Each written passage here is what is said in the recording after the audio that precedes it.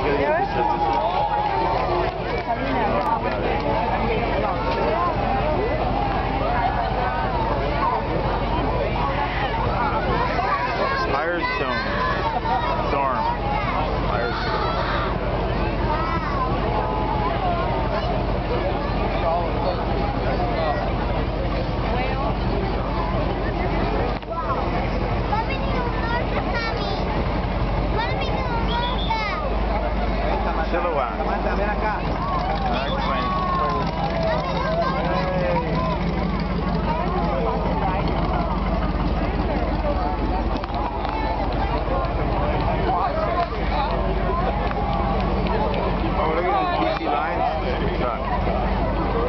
Lake ABC.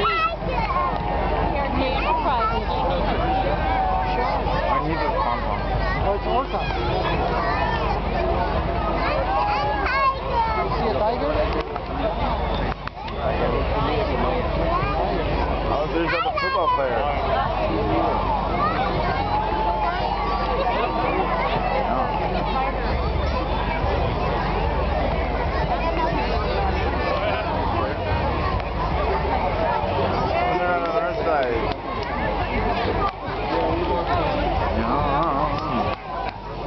Oh.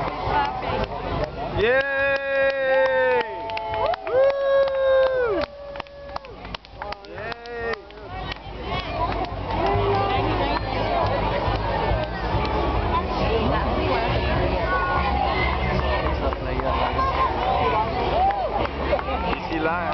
da vez lá.